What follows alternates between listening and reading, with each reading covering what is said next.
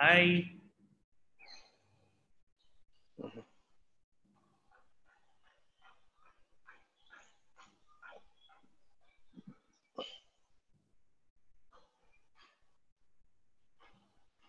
Vinay, we can't hear you.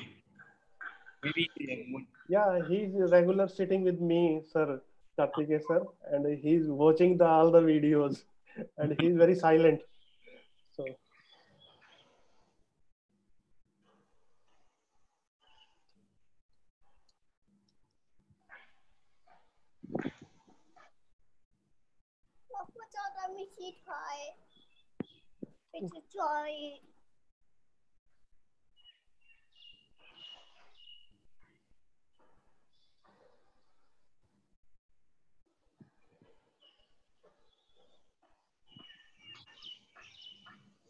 All right. Hi, all. Welcome back to Tangled Bank. So perhaps you can mute your phones. Okay. Welcome back to Tangled Bank uh, this afternoon session. Uh, I hope you had a very delicious lunch and enjoyed your lunch, right? And um, yes, this session is by Karthick Balasubramanian, and he's going to he's going to talk on the diatoms.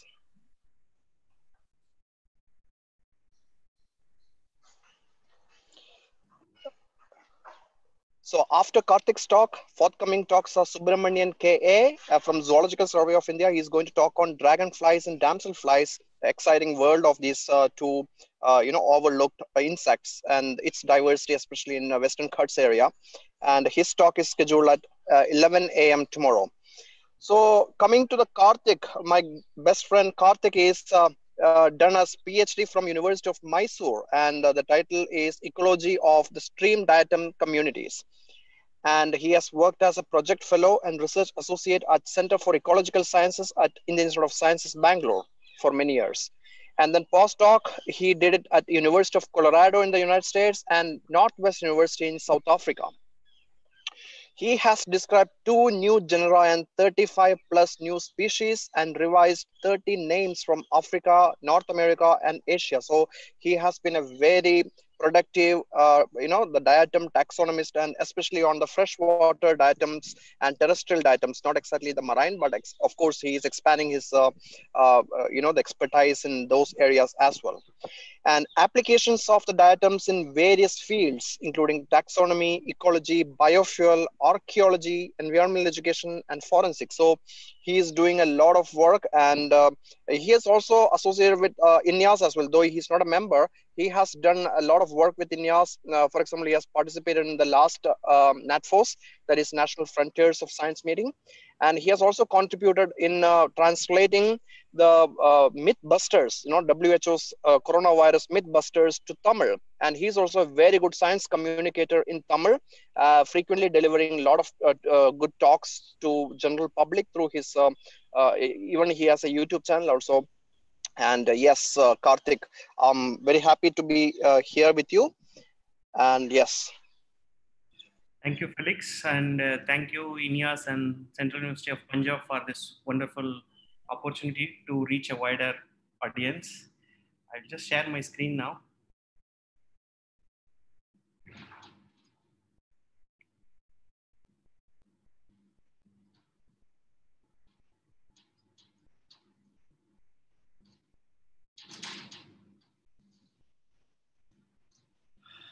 Okay, we'll start my.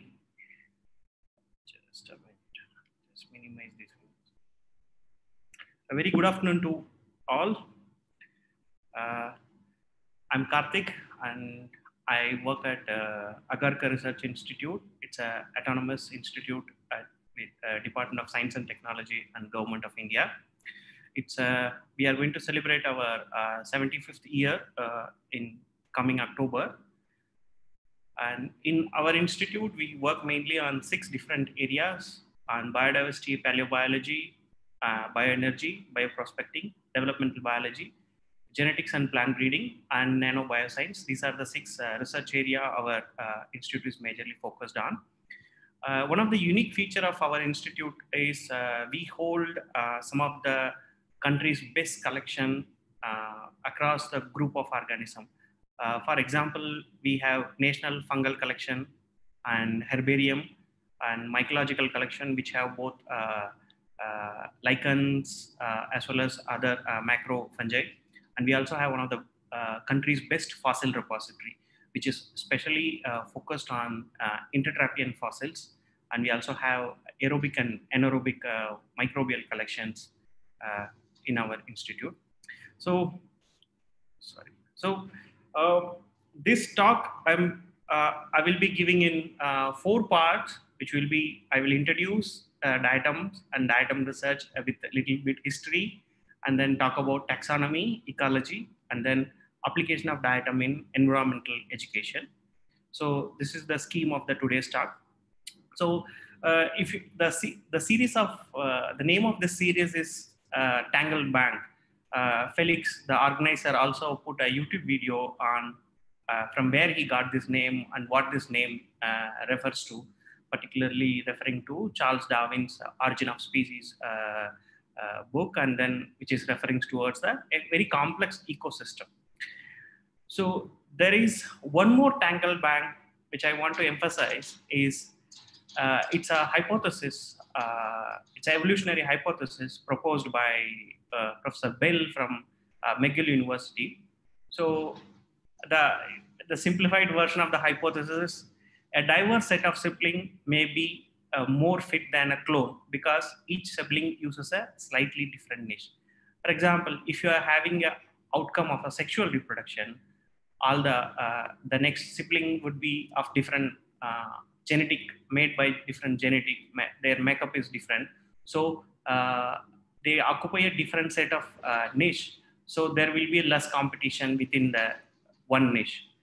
Uh, so that's the idea which is he proposed. Um, for that, he used uh, one uh, a very interesting group of organism like freshwater, like zooplankton, rotifers, where it like drastically reproduced by asexual reproduction, and then uh, at one point it will restart with a it will go through the sexual reproduction and come comes back and then drastically goes through the uh, asexual reproduction so However, uh, this theory is not, uh, you know, uh, empirically validated. Uh, and then, of course, like later, like a lot of theories came to board of this theory. Theory, and this when I read this uh, tangle bank hypothesis, I thought like you know Bell selected a maybe a, a very uh, wrong system. for that, diatom would have been a, a best system to study. Why?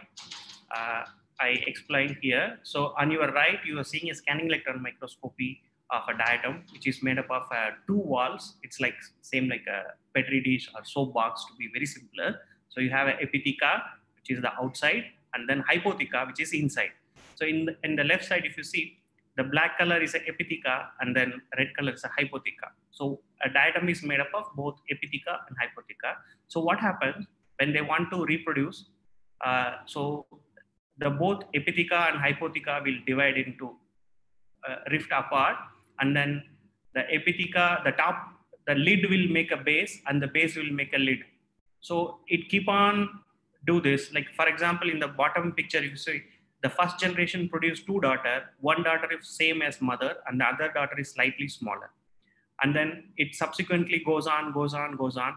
At one stage, it will be so small, you cannot divide further. So it will again uh, go back, it will go to sexual reproduction and the,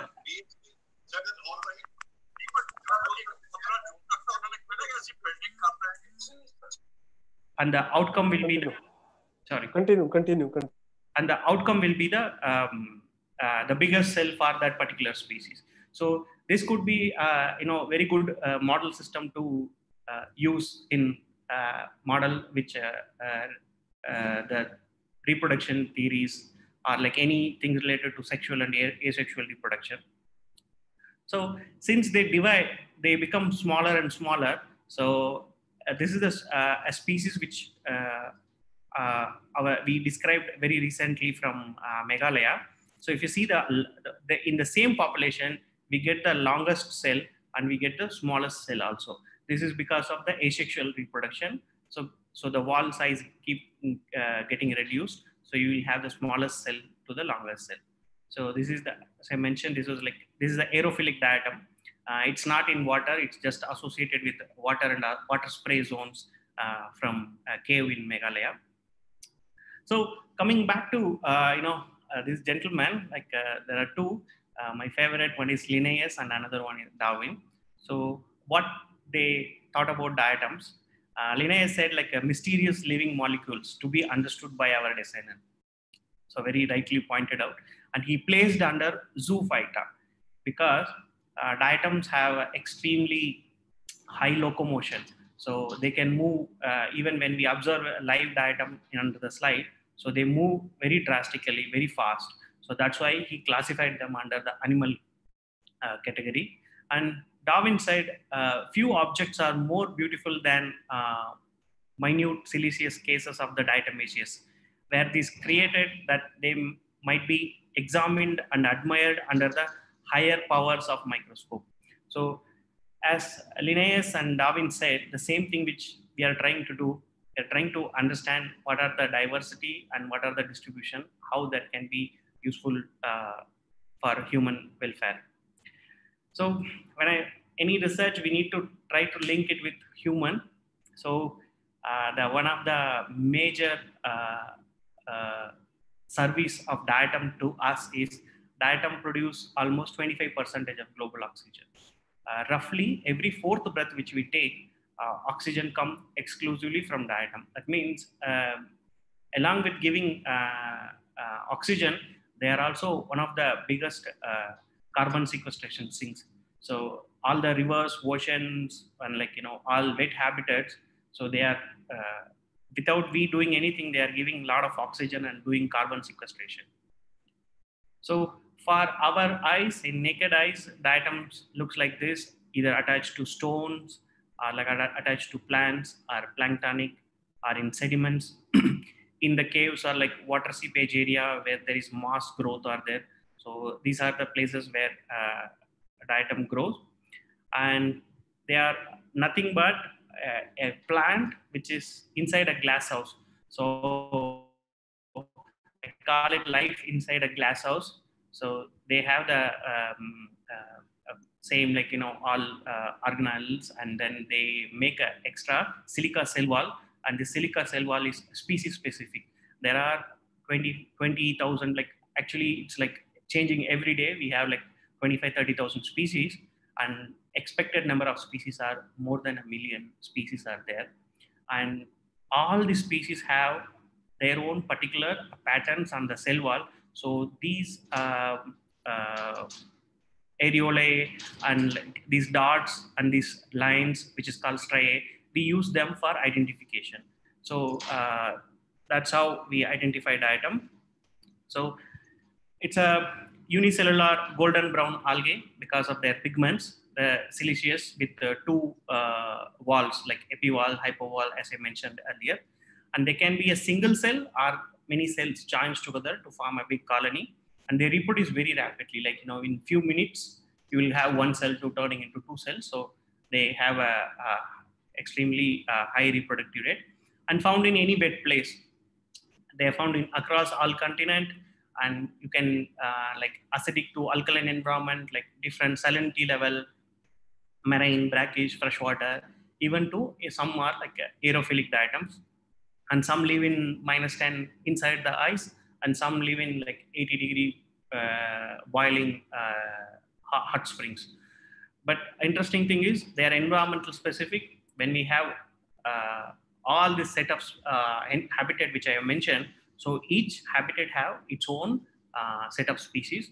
And recently many research suggests that uh, some of the things which uh, operate the distribution of higher organism they also controls the diatoms so in, in, in India, if we take uh, Western Ghats and Northeast India have high amount of endemic uh, diversity.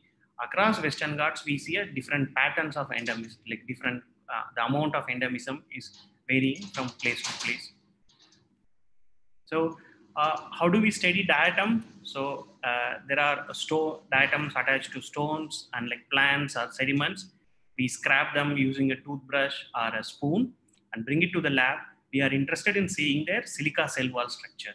So this silica cell wall structure, we look under the uh, DIC microscope and uh, for higher taxonomic work, we look them under the uh, scanning electron microscope. So why we boil with nitric acid is because we are interested in seeing the siliceous structure. So all the organic matter will prevent us from seeing this structure. So we boil them in, in nitric acid, like strong acids, and then look them under the uh, light and scanning electron microscopes. So when we, uh, as I mentioned, this is a scanning electron microscopy of one diatom. It's like, you know, one wall and then another wall, which looks exactly like a Petri dish or in a very simpler term, like a soap box. And this is one of the lesser known group globally. So even though we are studying the atom for more than uh, almost 200 years, uh, the, um, uh, if you see the rate of discovery of uh, uh, new species, uh, it's like extremely high and there are so many new species as are yet to be discovered.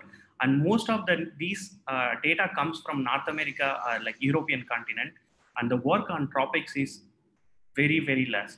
In terms of their distribution if we see in india so we whatever we, we know uh, from the different literature we have around in india we have around 8000 taxa plus taxa of diatoms are there. Uh, 57 percentage are like freshwater known from freshwater and 5 per percentage of brackish and then 29 marine and then fossil and then something which we, we don't know where they originate. Uh, so this this is the kind of uh, distribution we have. Uh, in my guess uh, we will be having like more taxa in, in marine environment uh, it will be like more and also in terms of fossil because most of our uh, fossil rich place has not been explored for the uh, diatoms. So when people started looking in diatom, it was long, long ago in 1003. Uh, there was a, person called, a gentleman called uh, Mr. C. He, wrote a letter to uh, Philosophical Transaction of uh, Royal Society of London. So uh, this led, titled as uh, Two Letter from Gentleman in the Country uh, related to, uh, so previously Anton von Leeuwenhoek, the, the inventor of, who discovered the microscope. So it's a follow-up for that letter. So this gentleman looked at some sediments collected from ditches and uh, they found a new forms of animalcules, which is in the left. So this is the first ever described uh, like they didn't know this is the diatom they just described it as animalcules and then this is the, the, structure inside and they keep moving. So uh, 1703 uh, was the first uh, uh, discovery like first report of diatom. Not long enough we have in 1854 the first report of diatom come from india by this amazing person called Ehrenberg. he's a uh, geologist, he's a, um, uh, anatomist, and like you know, you can you can keep naming. And he is also a mycologist, and he described uh, hundreds of new species of diatom, Coccolithophores, radi- Radiolaria, Foraminifera, you name it. He have done a lot of things, and somebody from India somehow he got, he got the samples from uh, different part of India from Himalayas, Brahmaputra, Ganges, all those places I highlighted uh, uh, in this uh, paper. Uh, so Brahmaputra, Ganges, Coromandel, Pondicherry, Madras, uh, Nilgiris, so Mangrove, sorry, Mangalore in Canara. So he had described a diatom from all these places. Interesting thing about this publication is there are two things. One is this must be the first paper uh, have used this term Western Ghats. 1854, I guess, uh, because I haven't got anything uh, uh, older than this literature which mentions this word Western Ghats, at least in the biodiversity literature. And with this study, India's first observed microbes are diatom. Most probably, this is diatom is the first observed micro, microorganism uh, in our uh, country. So just uh, you know, I just want to see show the how Ehrenberg's collections are arranged. Even these collections, what he made, it's available in um, in Berlin. Uh, in Berlin Museum, we have all Ehrenberg's collections are available. Even we can go uh, observe this collection. So these are the mica sheets of Ehrenberg. with his own note uh, notes uh, given here. And bottom, this drawer, uh, you know, uh, this includes uh, interest of Ehrenberg.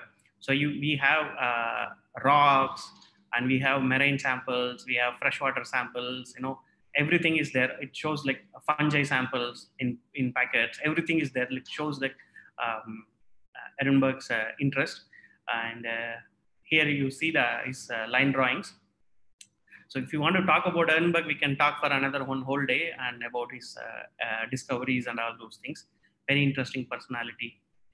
And subsequently to Ehrenberg, we have Grunow and a lot of other people, Smith and Cleve, uh, uh they all, Van Heurck, they all got samples from uh, maybe from different European set, uh, settlements which were there at the time in India. They were sending samples so by this, they all uh, published a lot of new species. So when we generated the map for Indian subcontinent, where and all diatom would have ever happened. So it looks like this, like, you know, even um, after 200, 300 years, we have very uh, sporadic records only. And there are a lot of places have not been uh, studied even uh, once. And when we try to see the number of new new species uh, publication, so there are we have around 450 publications related to diatom taxonomy only from uh, which is about uh, in talking about Indian diatoms. And then when we see the new species trend, so we have you know extremely high amount of new species described uh, over time. Uh, the most of the first set of description correspond to Ehrenberg, then Grunow. If I if you see this blue color highlights from 1950s uh, till like uh, 2000, this all this thing was done by a gentleman called uh, Hemendra Kumar Prithivraj Gandhi. He's the uh, one of the amazing diatomists uh, from our country, and nobody knows him. He's one of the really unsung hero, even though he described 300 new species. being a, a college tutor, he was a college lecturer in Bombay Presidency. So all this thing what you are seeing here is just maybe a glimpse of H.P. Gandhi's publications. He had published amazing amount of uh, papers from uh, all over uh, Bombay presidency because he used to get transferred in Bombay presidency. That time Bombay presidency from Gujarat till like uh, north part of Karnataka was there. So he, wherever he goes, he collects samples and all this research was done without any funding, without any uh, support, no students. So it's all done by, he's a, you know, one of the uh, amazing inspiration for any, any anybody who want to pursue in research. So nothing can stop you. That's the uh, message we take from uh, Gandhi. So he also published uh, in one book called uh, Freshwater Diatoms of Central Gujarat. So uh, I had a very uh, short um, mind. I had I met him in a, when he was in a very you know in the end fag end of his life. So he donate he gave all his collections to us so we are posting all these collections like, you know, um, uh, 400 plus samples and 2000 slides. And this, all this thing which makes South Asia's biggest diatom collections. So apart from some places in China and in Russia, uh, we hold the biggest uh, collections uh, of diatom in, in, in India. And if you notice this, some of the sample, these are all collected in 19, this sample is like 23 December 1945 in Dharavi Road, brackish water. So these are like, you know, really some of the oldest collection. So I started my career with using this collection. So I started looking into all whatever Gandhi have seen and based on the current taxonomic uh, uh, uh, current taxonomic scenario where it will fit. So all these papers are like you know whatever Gandhi have done. Even this paper, freshwater diatom from Kolhapur and its immediate environment, we just reconsidered and it was uh, most of the taxonomic concept what gandhi had like you know it's with molecular support what we are getting. He had derived those uh, knowledge uh, those ideas long back. So these samples are like time machine. So if i want to go back and see like what was the water quality of dharavi stream in 1945 we can sit in this time machine and go back. We can study this sample and then we can tell you know what is the uh, water quality in in uh, Kolhapur in 1945 or whatever time frame we want. So uh, as I mentioned earlier, like, you know, they are very environmental specific. So diatoms are uh, extremely used for environmental monitoring, biomonitoring in uh, uh, many places all around the world.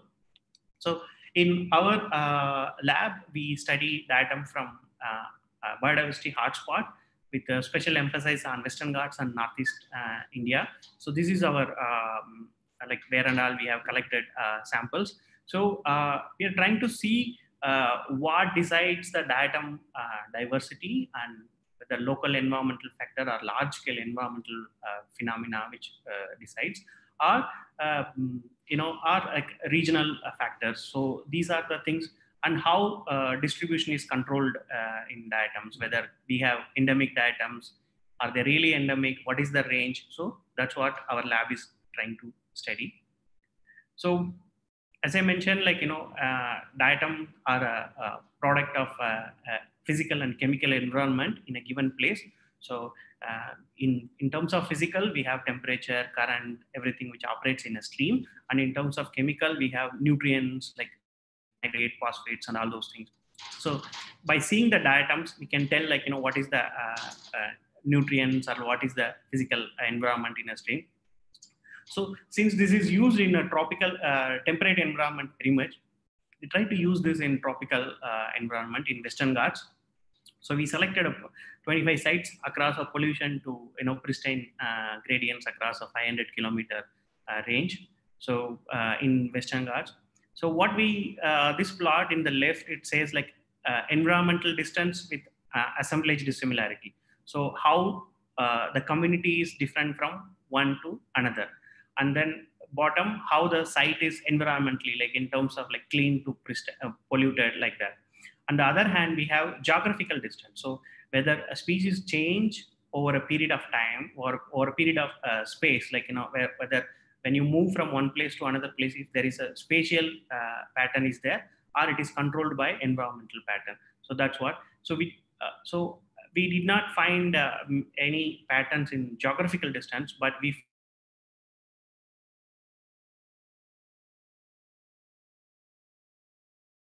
found a very interesting green area are like pristine sites and then all this red area are uh, uh, polluted sites.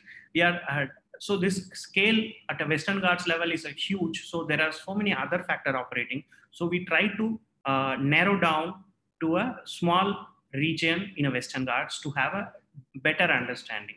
So some of you have uh, might have uh, attended uh, Dr. K.V. Gururaja's presentation a couple of days before. He explained, you know, many frogs behavior and all observed. So all this observation, most of this observation come from a place called Myristica swamps. So these are like, uh, you know, water saturated swampy environment in the middle of the forest. It's like kind of bowl in the mountain where there is, it's dominated by Myristica, members of Myristicaceae family uh, tree and they are like uh, you know uh, virtually a living museum uh, uh, you see a lot of refugee uh, it's like a refugee a lot of uh, species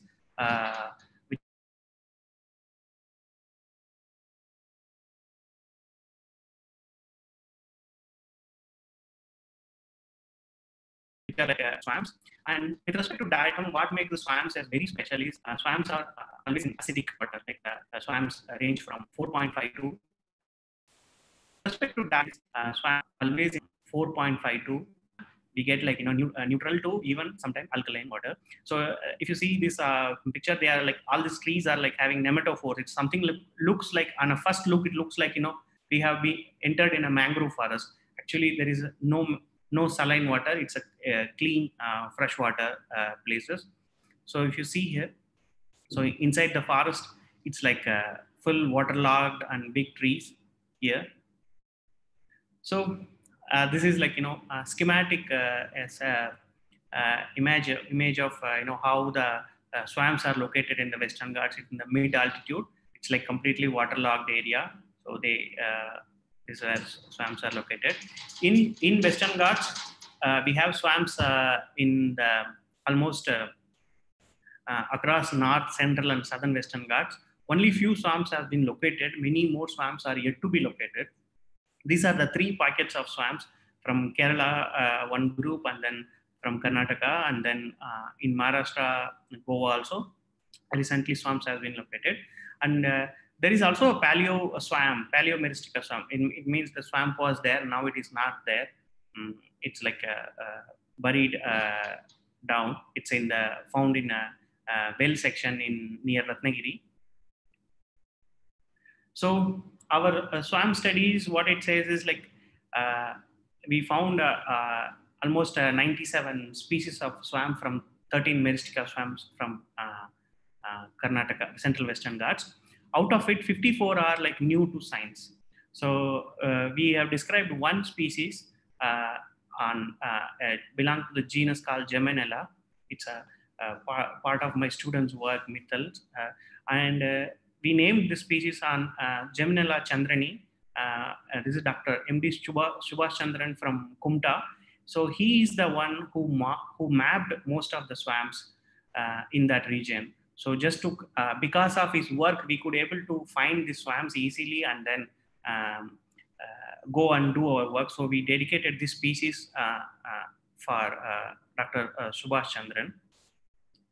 So based on the diatoms and we measured the diatom and we uh, also we measured the water quality and we found uh, four group of diatom the first group is which prefers acidic water and second groups uh, which uh, pre prefers uh, less dissolved oxygen and then low nutrient preferring uh, species and then high electrical conductivity preferring species so we we marked based on our observation we marked these are all the environmental indicator.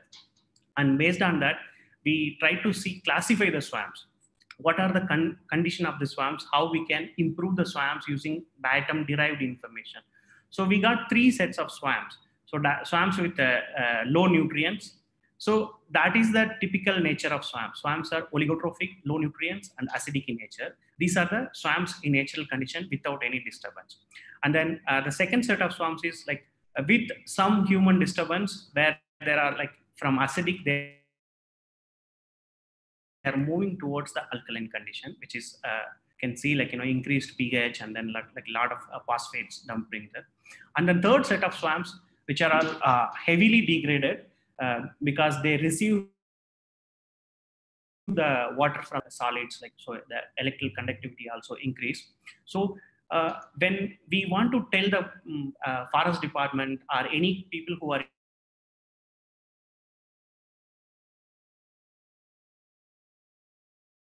involved in conservation, we have uh, information derived from the set of organisms. We have like live derived information. So our information drives conservation of these swamps. Uh, how using a microorganism we can do a large scale landscape level conservation in Western Ghats. So in, in till now, we found that, you know, how we use diatom further to understand the present day environment. So how we can use, understand diatom for in, in the present day.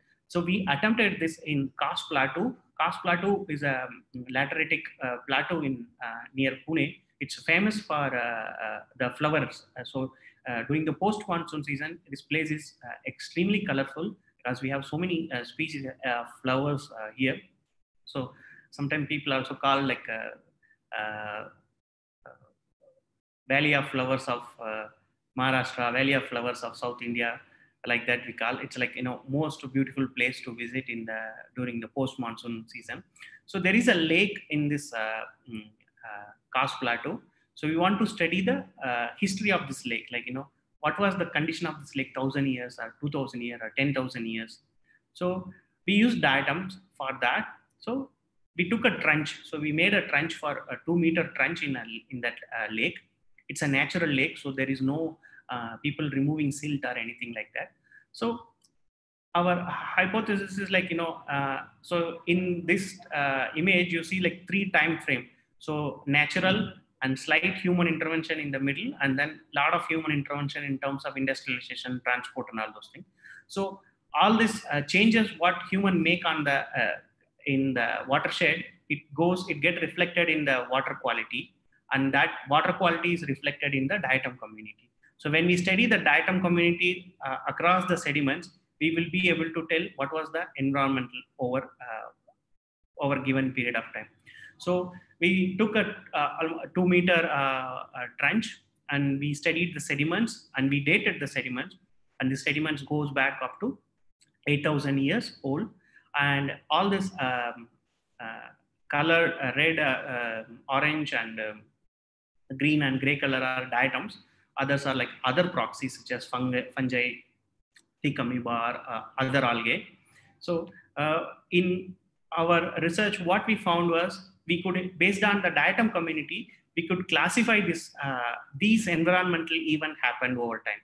So there was in intermittent arid period uh, one in like 8000 and then 7000 and just you know close to 3000 and there was a high wait period from uh, say like 3000 to uh, until recently.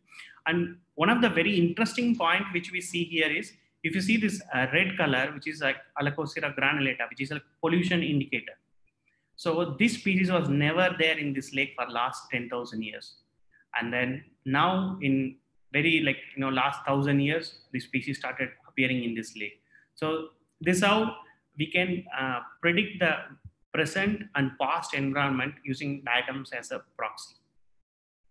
So the final part is like uh, we also uh, since this is one of the lesser known uh, group of organism we want to make uh, uh, you know more environmental awareness or like more awareness about this particular species. So we try to do environmental awareness using diatom as a proxy. This is another one proxy we use here, uh, diatoms, and which is a, a, multinational free online environmental program, which is like a diatom project, mainly developed in Japan in, Jap in Japanese by Professor Shigeki Mayama Tokyo Gakugei University. And now uh, we are developing it in uh, Hindi, Kannada, Marathi, and in Tamil uh, languages. So what happened is, so virtually in front of computer you can create a river and you can see what is the what are the diatom community. And then you can pollute it and then see how the diatom community changes because of your pollution. And you can restore it by making sewage treatment plant or like you know other preventive uh, uh, uh, conservation measures and see how diatom community change so while uh, doing this exercise we give uh, a questionnaire to the students. This is focused on eight, six, seven, eight uh, students. Uh, so this is how we go to the, their school and then we have a PowerPoint presentation and we give a questionnaire. If you see, notice like, you know, everybody have a white sheet. It's a questionnaire and we try to see what is the impact of this uh, environmental education program in their thinking, in their, uh, you know, how, their attitude towards environmental conservation and pollution and microorganism. So uh, this is the we try to see the you know how the uh, their uh, words are like uh, like a relatedness analysis.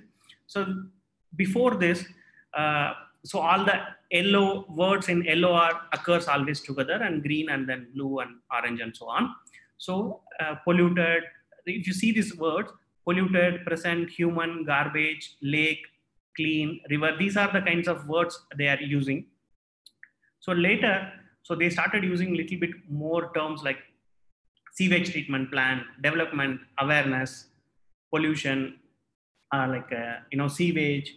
Uh, in developed countries, situations are like this. So uh, basically we are trying to see that uh, most of the students are in a feeling that, you know, this will be like this only, you know, we cannot uh, revert it back to how it was like 30 years 40 years before.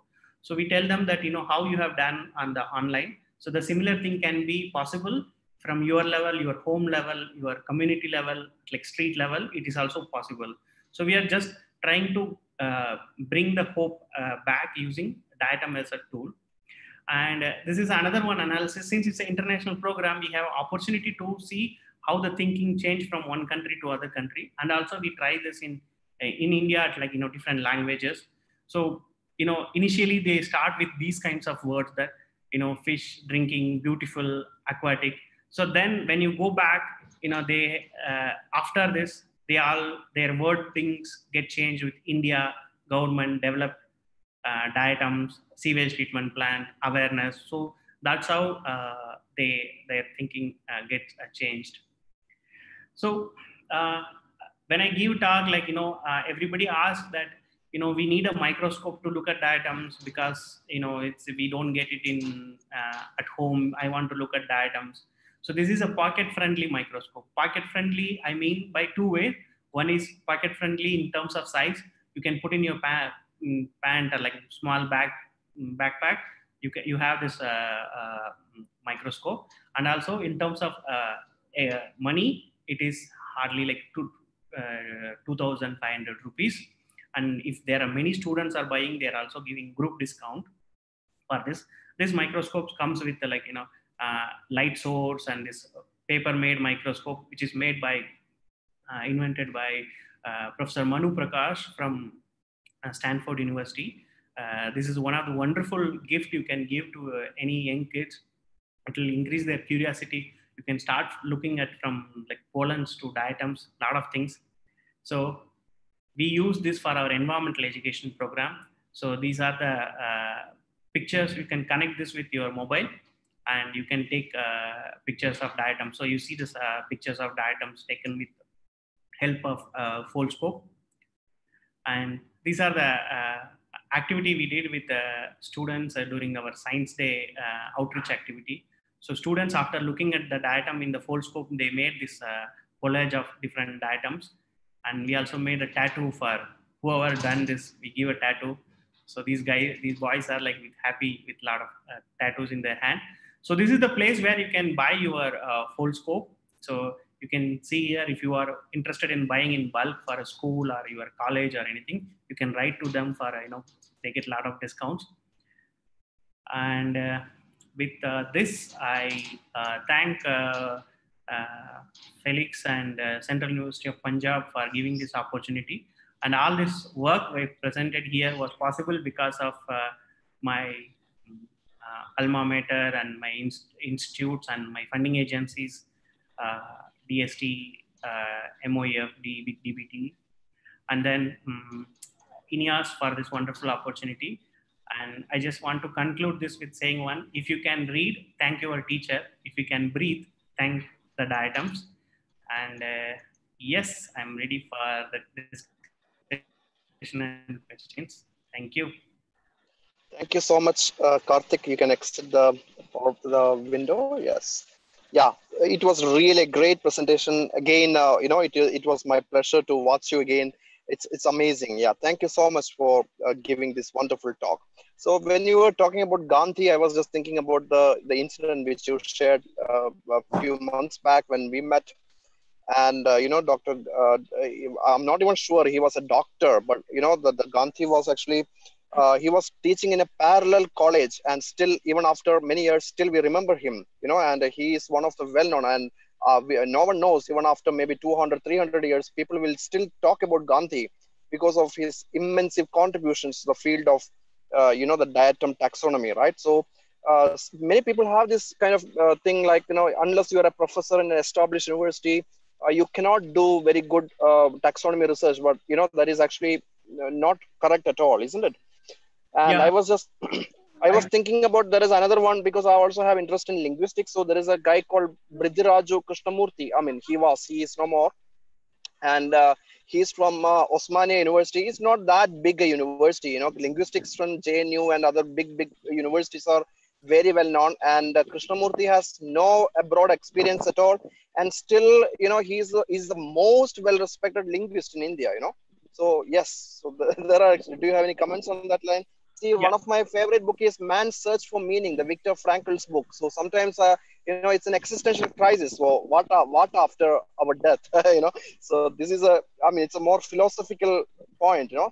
I especially i want you to say that you know when um, uh, in his deathbed kind of uh, the gandhi's deathbed the kind of experience you recited me it was still fresh in my mind you know? He was actually it's something like a reinvigoration right? When you start talking about diatoms because uh, Gandhi's passion was diatoms, and you know it's like he he simply get back to the life, isn't it?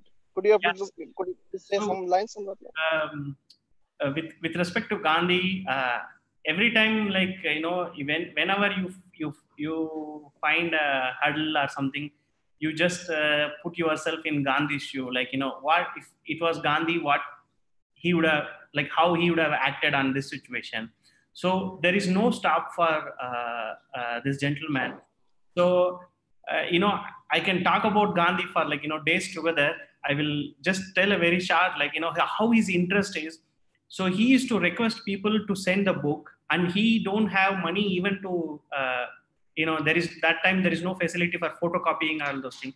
So he make a photo photograph uh, and develop itself uh, him by himself and then print uh, those photographs in a small books and then send this thing back to the original author.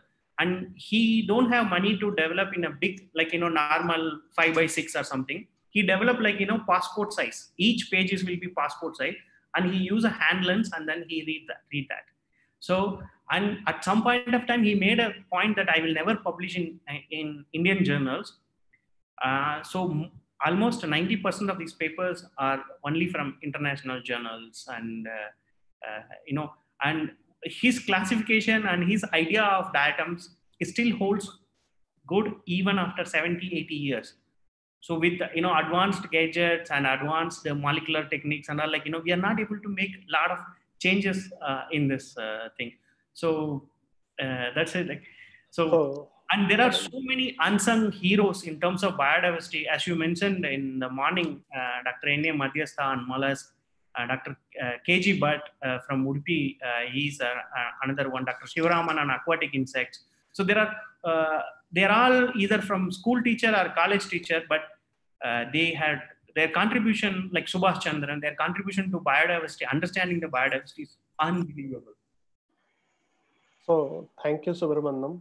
Yeah. It was a very nice talk and uh, it consists, uh, consists of the three different components. First is the basic introduction and the you can say awareness uh, of the datum second part of, was about your research and third part is the you can say sanitization the students with the datums with Yeah. the environmental impact so i think uh, after getting the knowledge about the mr gandhi so i would like to say only three words he is the father of the indian datums Exactly. So Yeah. I call that like he's the father of Indian.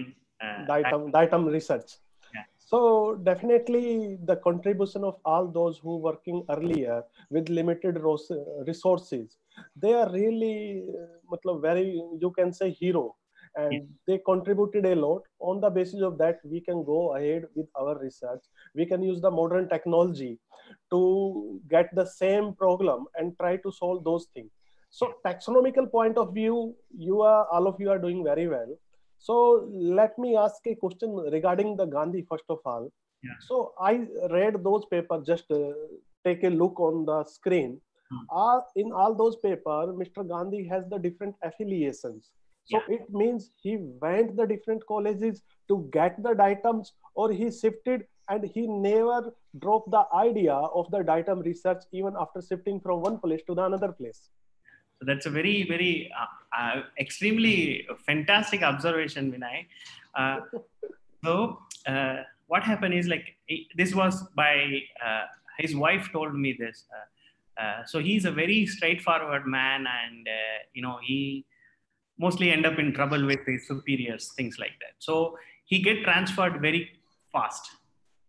So that time, this was a, a Bombay presidency. So Gujarat, Maharashtra, even up to Dharwad, it's a Bombay presidency. So he get transferred very frequently. But uh, Gandhi mentioned that you know that was advantage to him because he have opportunity to collect samples from different places. different places.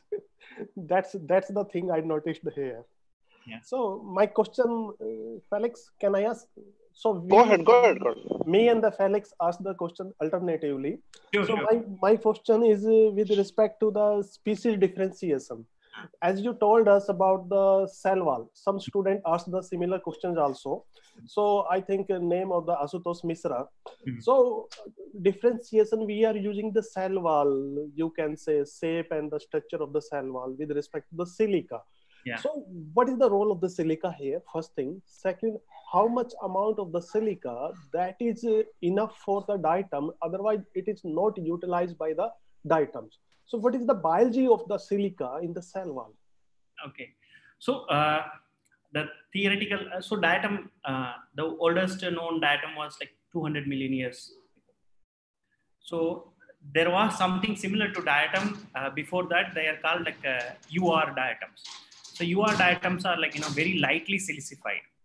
So the theory, the, the theoretical, uh, the theory is the diatom might have, it's a, diatom is one of the uh, wonderful product of endosymbiosis. So even many diatom, even today also have endosymbionts inside the diatoms. So uh, what happened like diatom must have evolved in a, in um, uh, uh, you know, a swampy environment in a estuarine or like brackish water area. So in order to make themselves uh, not prone to the bacterial or other infection. So they choose the silica uh, cell wall. So that is the theory. And why silica? Uh, because uh, when compared to the other material used for like, you know, other strong material used is like, uh, like calcium and all those things, they are uh, prone to uh, change in the pH. So if there is a small change in the pH, immediately calcium will, will react but silica have a wider range of uh, pH. And uh, it, this is the most abundantly available material. So you don't have to depend on uh, something like that. So that's the, you know, that's the advantage. So I see diatom, whenever there is a decision-making process for diatom, diatom always choose, you know, the best. Okay, uh, I am, I am, I found like in I am now in uh, marine, so I will not stop. I go to brackish and fresh. Some freshwater diatom decided that you know, no, no, we will go back to marine. So it's a big, uh, a complex uh, group of organism. So, is there any uh, significance uh, accumulation of the silica in the cell wall that is associated with the decomposition of the diatoms after death? So is it helpful in the to go back in the evol uh, in the past and get the evolutionary trajectory on the basis of the accumulation of the cell wall because silica is very resistant to the decomposition. Exactly. So it, it is a better, I, I think, advantage for all of us to go back, check the patterns of the silica, and get the uh, evolutionary pattern of the diatoms along with the passage of the time. Yes. So. Uh, uh it, diatom never dies. Like there is a James Bond movie like Tomorrow Never Dies. Like diatom never dies because the silica settles, and then in the in the marine environment, you have under the marine you have mountains of silica, diatom silica, and those diatom silica when uh, they the sea withdraws or something like that, like you that turn into a mountains of diatomaceous earth so those diatomaceous earths are like used in many industrial and agricultural applications.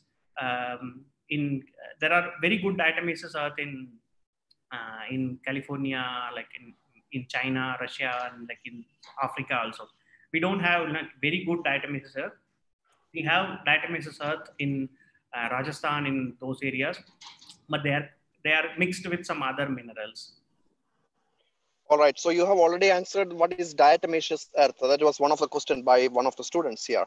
And now the coming to another question by Anvesha Chakravarti, and she is from Kolkata. And the question is, diatoms are found in every water containing environment from uh, small stream to large oceans, even in wetlands. What makes this species ecologically so successful? Wow, that's an amazing question. So it's like a million dollar question so that's why like you know uh, i can say this like verbally but like you know theoretically we need like uh, we need to confirm that with the data like you know why diatoms are successful. So uh, uh, i think diatom took in the process of endosymbiosis diatom took good thing from different part. Like this is the only plant which have urea cycle. So urea cycle is very specific to animal so if there is a you know and there are many diatoms even though diatoms are so-called photo, photosynthetic there are diatom which lives inside the caves in dark condition and deep marine uh, thing. So they have extremely adaptive uh, situation and adaptive nature. And then uh, so they they try to in, try to explore new environment and try to change themselves in in uh, to the new environment over time i think. That's how uh, for very simple example is uh, raphe is a, uh, a slit-like thing which you see in the diatom. So the, in, in Hawaiian caves, there was one uh, genus called Diprora. this diatom grows inside the cave.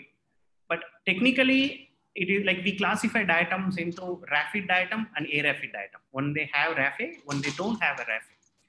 So based on the molecular biology, this diatom comes under the raphe group. But morphologically, we don't see a raphe. So it's same story like uh, when we see in the uh, subterranean uh, fishes, in the cave fishes, they don't have eyes. So secondarily, they last. There is no need for eyes when you are in dark. So there is no need for a raphe to move towards light. So they decided, I'm not going to invest on this useless thing. So I will get rid of this raphe. So like that, we have many, many uh, things from diatoms. Only the where the inadequacy come is even after working on 15 uh, years in diatom, if somebody asks me how many species are there, I say approximately 8,000 species because we don't have even a, a exact number of species what we have. there is another question from my side. As you told us in the uh, during the asexual reproductions, when there is a series of the asexual reproduction, then you will get this. There is a reduction series. There is a reduction in the size also. Yeah. So how can diatom get this signal to convert the asexual mode into the sexual modes? Okay. How could? So uh, this is decided by uh, mainly by uh, environmental. So when they are in a favorable environment, they are, and when they reach the smaller size, they go back to the sex. They they engage in sexual reproduction, and then they go back to the uh, uh, make a zygote and auxospore and make a biggest cell for that particular species.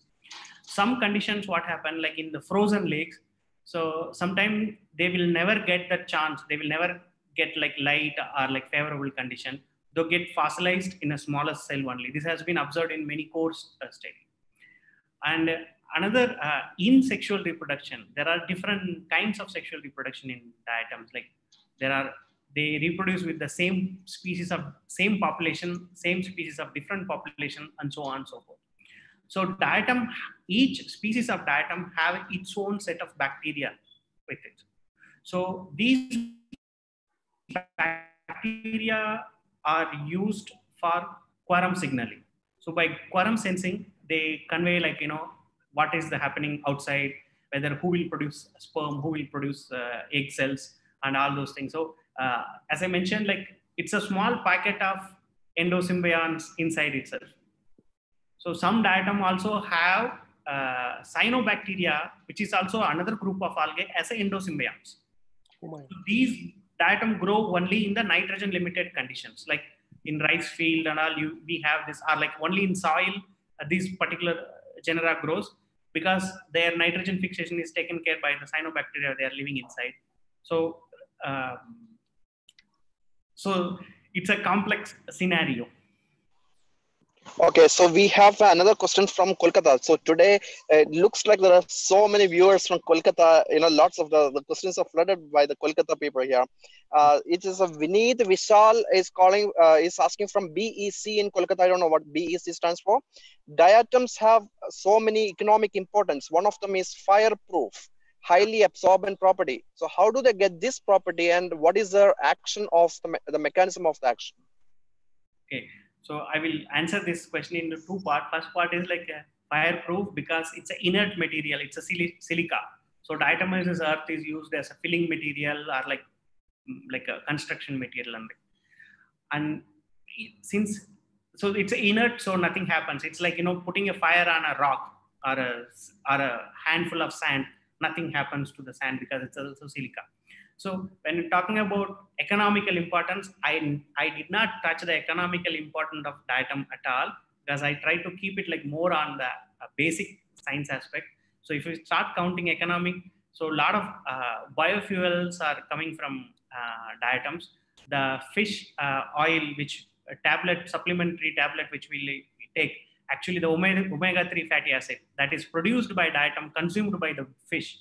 So actual producer are diatoms and diatoms are used in as in many medical applications like uh, for drug delivery and all those things. This is used as a small capsule which will you can send it inside, and uh, they also have a mm, the inert diatom material also uh, have uh, like uh, they control the hemorrhage and uh, so on so on like i can keep and dynamite the most famous thing the dynamite by alfred uh, nobel it's diatom plus uh, the uh, explosive material so diatomite plus explosive material so in, in fact diatom nobel prize nobel foundation money come from diatom money so uh, the all the that says everything. yeah. diatom So- also in, in like indirectly they support a lot of uh, research uh, every year So as you discuss, uh, uh, sort the different distribution pattern hotspot in the Indian region.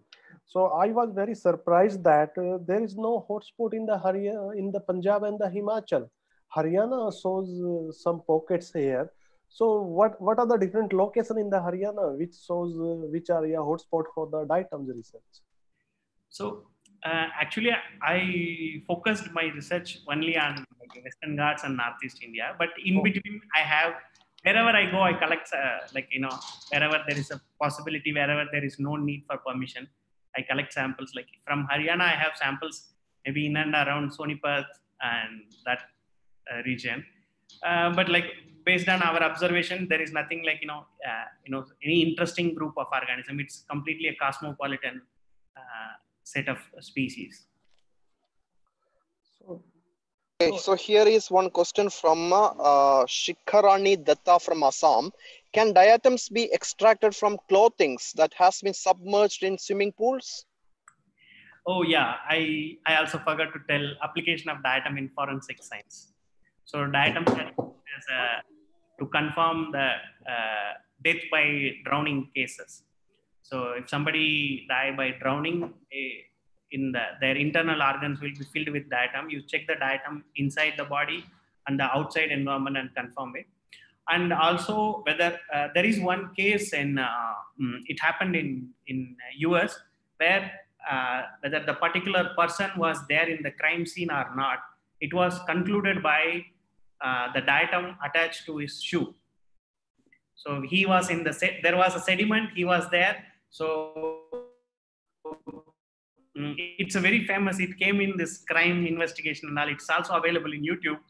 Uh, so uh, they they confirmed this person was there in this crime scene by having uh, the diatom in his shoes and the diatom in the streams are same. So the based on the species assemblage it's like community, they confirmed this guy was there. Yeah, it's it, it's possible, and and also it's like in archaeology also it is used very much to confirm whether this pot is locally made or from, brought it from outside. So like that. So one question regarding the Kaas Plateau. You showed the two picture logo along with this Kaas Plateau picture. That is the UNESCO and second is the World Heritage Convention. So what is the link between these two things and the Kaas Plateau? Okay, so UNESCO uh, declare a heritage site based on the archaeological value or biodiversity value, or like there are different set of parameters. So this Kaas Plateau, based on its biodiversity value, it is declared as a uh, UNESCO heritage site. It's one of the World Heritage Site. Yeah. And uh, during the assessment of the attitude of the students on the environmental causes using the diatoms, so what was the final output of these uh, assessment actually? This is very good. I think we can go ahead with another things also, not only diatoms, but we can go ahead with another classes and the species also. Yeah, exactly. We can use different groups. Uh, you know, because I work in diatom, I thought like you know this would be the best tool to sensitize the school student because the moment the school students see the diatom, uh, they get to, uh, very much excited because it's uh, like you know extremely beautiful patterns and things like that. So what is the outcome of that is like we are trying to uh, uh, sensitize the students. So m- maybe they like you know after the class when they go back uh, with before throwing a garbage into like you know small like chips packet into a stream or river they will think for five seconds or like three seconds i we consider that as a, a, a impact of our uh, environmental education or outreach program. If they think for three seconds, most probably they are not going to throw it. Yeah, the same same thing. Yeah, Dr. Felix. Yes, uh, we have a question from Dr. Kriti, and uh, she's asking, could you please tell about signaling mechanism in diatoms? Any app for identification of diatoms? Uh, I'm also not really convinced what is the question. Signaling mechanism in diatom. What kind of signaling? I'm not sure. Any app for diet identification of diatom, diatom? Maybe that you can answer. Any app like a frog finder app of the Gururaja? So uh, uh, we are yet to know what are the species we have in India particularly. So we there was one plan to make an app for uh, genus wise, like genus level identification. Maybe we are trying to do something whether we can combine Foldscope and app together. Because when when a student can easily afford to a Foldscope, there if we develop an app based on the, uh, so we are trying something to do with like you know uh, uh, identification diatom by shape analysis, like you know automated kind of analysis. I think the signaling which she was talking is uh, So, like I think uh, Dr. Karthick, you already covered this uh, Yeah. question. I think yeah Yeah. you covered it. Signaling, yeah like quorum sensing. I think like quorum that. sensing. I yeah. mentioned about that. So, just one question, another question from my side, Dr. Karthick Balasubramanian. That is the omega-3 fatty acid biosynthesis in the diatom. Do you think it is the major dominant biosynthetic pathway that is documented in the diatoms, or it is just like a normal biosynthetic pathway in the diatoms? I think uh, we have uh, uh, two uh, diatom, Phaeodactylum tricornutum and uh, Thalassiosira pseudonana. These are like, uh, you know, the complete genome is known for these two diatoms and the pathways are derived. So I think there is a, they have a, some, uh, maybe some enhanced mechanism to produce a high amount of lipid, particularly when they are in stressed condition. For cell wall. Yeah. And uh, So we, we have a question coming. yeah, go ahead. we have a question coming from Shefali Patel uh, from Gujarat, and Shefali is asking. It's a, it's a kind of a long question. How can you collect the samples, and what is the mesh size of plankton net required for diatom samples connection uh, collection? Sir, I'm working on phytoplankton biodiversity from South Gujarat estuarine region. I'm facing problem of identification of these phytoplankton. Can you please help me with for the same, and can you suggest me an Indian phytoplankton identification manual? Yes, two part question. Okay, I, rather I will divide into three part. The, yes. the, the first part is for collecting the item, we use very, uh, we don't use any fancy thing. Uh, we use a spoon. We just scrap the stones or plants. And when we collect uh, in using a plankton net, the plankton expression, I use 10 micron because there are many diatom which are like uh, less than like close to 10 micron. So we tend to miss those diatom when we use like usual 20 or 50 micron uh, plankton net. So we need to do the 10 micron net. And uh, in terms of uh, guide for like identification guide for uh, phytoplankton, there is nothing. And uh, most of our guide, the phytoplankton identification books or anything which suffers from force fitting taxonomy it's forcefully fitted to European or American taxa. So I would request for you might be working for only like South Gujarat estuary. So I would highly recommend you to develop your own guide because that have more application for you and it will also help into the next uh, coming student. So if you need any help related to diatom identification, please uh, write to me uh, in diatomist at gmail.com. So I would be happy to help you in identifying the uh, diatoms. I don't I don't know non-diatom algae. I'm very bad in non-diatom algae. So, Balasubram, it is very interesting, Dr. Balasubram, and I could not spot uh, stop myself to, and even I would like to ask one more question from Please, you. please, so, yeah, just uh, explain urea cycle in the diatoms. and it is not present in another organism other than the you can say higher uh, organism so what is the unique role of the urea cycle in the diatoms and how could it help them in the adaptation as well as the survival okay so urea cycle is uh, something to do with like you know nitrogen metabolism so you ammonia nitrogen and all those so there are some diatom which they live in deep marine when there is no chance of doing photosynthesis so you have a lot of nitrogen available. So if you want to, uh, from phototrophy, you have to go to chemotrophy. So for your survival, that's the idea of having this urea cycle. So yeah, it's okay. Thank you. Yeah. There are, this is like, a, you know, uh, main problem, uh, I will not say problem, say the main thing with the diatom last 300 year when we take the diatom, first thing a diatom is do will be boil that in an acid. Yeah. So you make a living thing into non-living thing and look at the cell wall and describe new species. And we started looking the live diatom very recently. Of course, some people earlier, like some researchers, like uh, they have even documented this uh, cell divisions in live conditions.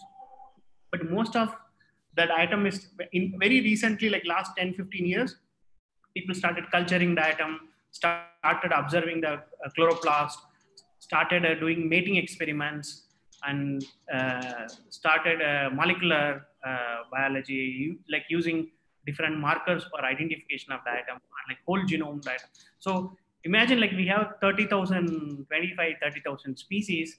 We have hardly four species has been whole genome has been sequenced.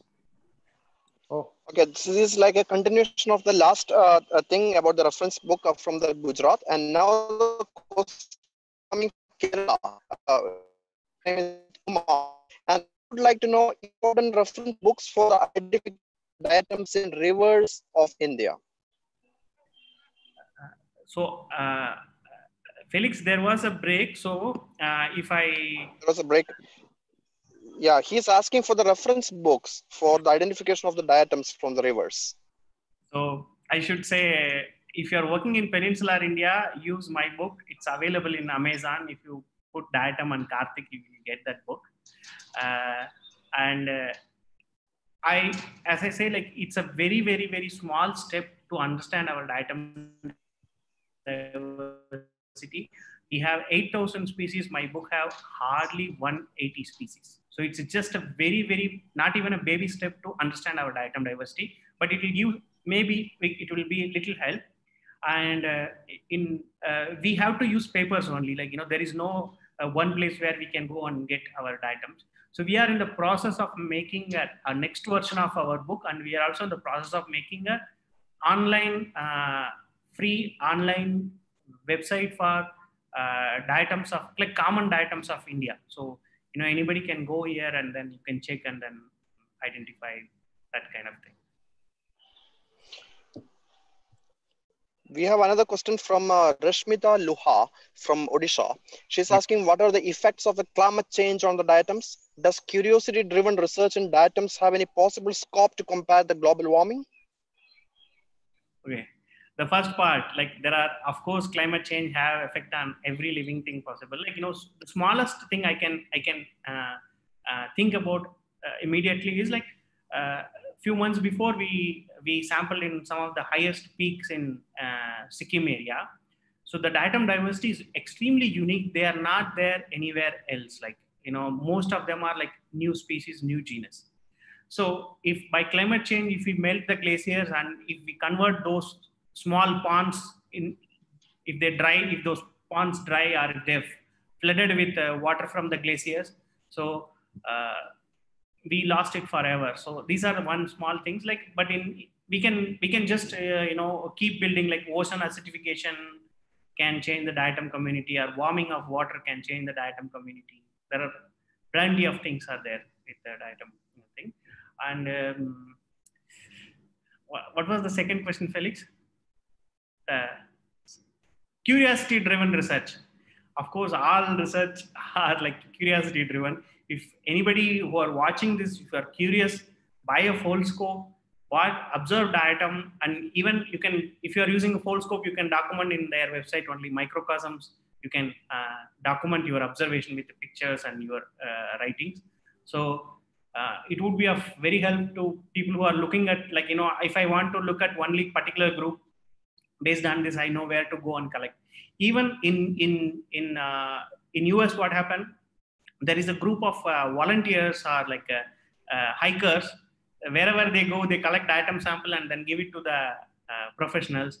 So they all those who collected uh, the new species are named after them those who collected there are many citizen science programs in uh, in uh, uh united states uh, involving hikers and like you know bikers and so on and yes you have a, a genus named after you by a russian team i, I remember if i remember it right Karthickia yeah. it has come in news yes it is yeah. a russian team yeah yeah fantastic very good.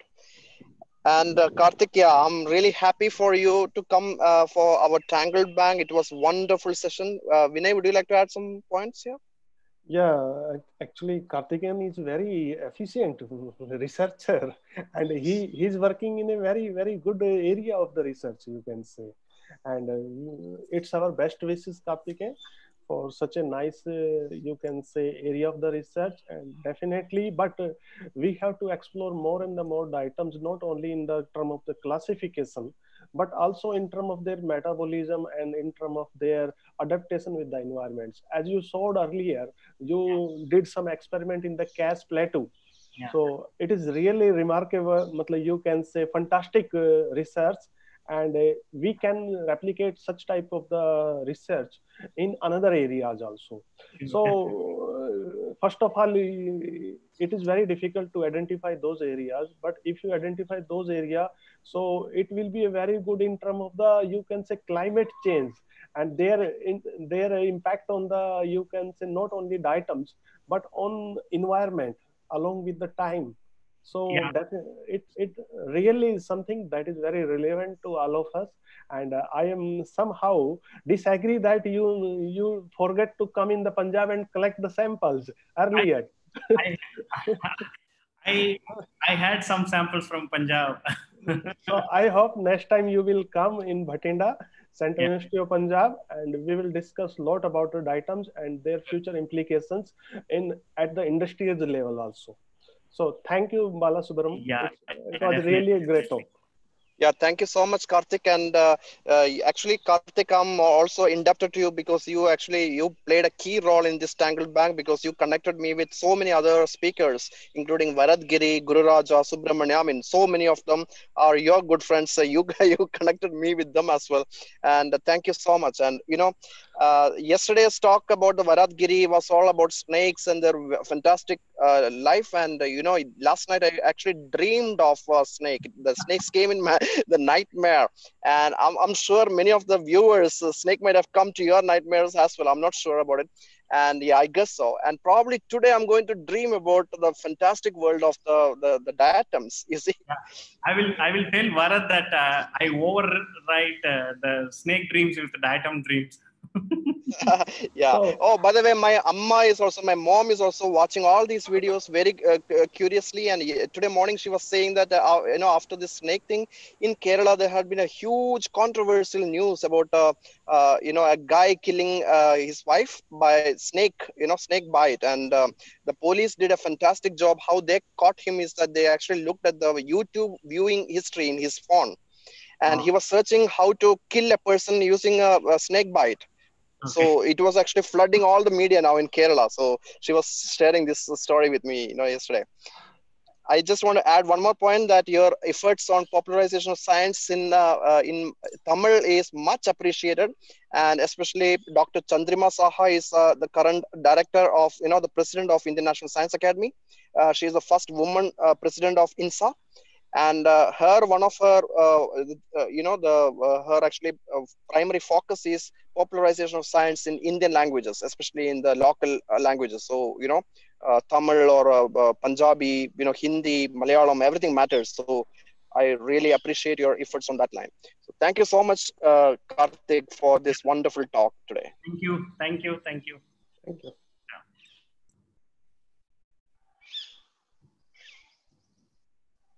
So next in our talk series, uh, friends, next in our talk series is uh, by Subramanian K.A. He is going to talk on dragonflies and damselflies at 11 a.m. tomorrow. And uh, after his talk is going to be Rajiv Raghavan. He is going to talk on endemic fishes of the Western Ghats at 2.30 p.m. tomorrow. So I will join you all at 11 a.m. tomorrow. So enjoy your evening and have a nice day. Goodbye.